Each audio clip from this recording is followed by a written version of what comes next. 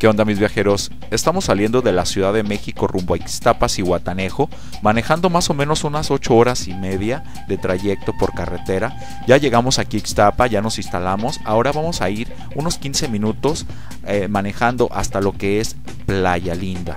Ahí vamos a ir a una isla que se llama Isla Grande y vamos a tomar ahí una pequeña lancha en Playa Linda que nos va a hacer el traslado de este lugar hacia la isla que es Isla Grande. En esta ocasión, eh, como ustedes pueden ver, usamos estas pequeñas lanchitas que más o menos eh, caben de 10 a 8 personas más o menos por lancha. No se me hizo tan caro eh, el precio por el traslado. Considerando que es una isla casi virgen y una isla muy bonita. Entonces en esta ocasión yo me vine con la güera, nos venimos a pasar todo el día aquí en esta isla. Déjenme les cuento un poquito. Esta isla está dividida como que en tres secciones. Eh, en la primera donde vamos a llegar, donde está el pequeño eh, desembarcadero, ahí está una playa que se le llama Playa Varadero. En la que está a la parte sur de la isla le llaman Playa Cuachalalate.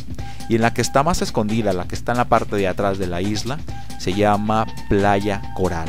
Y es a la que nosotros precisamente vamos porque me la recomendaron muchísimo eh, por la arena que me decían que tiene una arena de color dorada, una agua como ustedes pueden ver, eh, color como verde turquesa, la vegetación tropical eh, está en, todos lados. esta playa está bastante muy bien conservada, muy limpia y algo que me gustó mucho es eh, que aquí está para hacer la actividad de snorkel.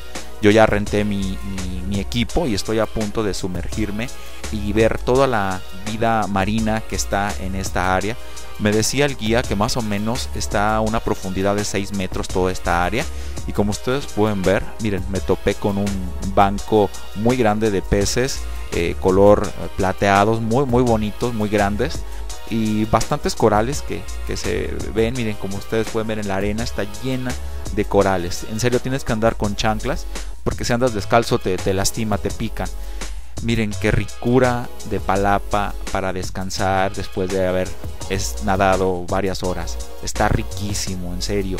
Algo que les digo es que se traigan su bloqueador. El sol está bastante intenso y manténganse eh, hidratados porque se deshidrata uno muy rápido, suda uno mucho. Pero los meseros andan aquí bien atentos, eh, cada rato ofreciéndote las bebidas, ¿no? Algo que no te puedes ir de la isla es sin comer unas ricas mojarras, que ahora sí literalmente del mar a tu mesa, bastante bien preparadas, bien fritas. En serio es una delicia, amigos. Y me quise ir después de comer a recorrer un poco más la isla. Me encontré estas formaciones rocosas en la parte norte de, aquí de la, de la isla. Se me hicieron muy bonitas. Anduve ahí curioseando y viendo, explorando esta isla que me, gustó muchísimo. Y se las recomiendo amigos que si tienen la oportunidad venir aquí a Ixtapas y Guatanejo, por favor no dejen de visitar esta isla y por favor vean estos atardeceres increíbles de postal. Y si vienen acompañados, híjole, en serio, van a disfrutar más todavía el paseo. Bueno mis amigos, con estas increíbles postales de este atardecer aquí en el Pacífico mexicano me despido. Muchas gracias a todos mis nuevos amigos que se han suscrito a mi canal, a los que me siguen por mis redes sociales como Israel Viajero. De la misma manera, muchas gracias. Nos vemos la próxima semana. Cuídense mucho. Chao, chao.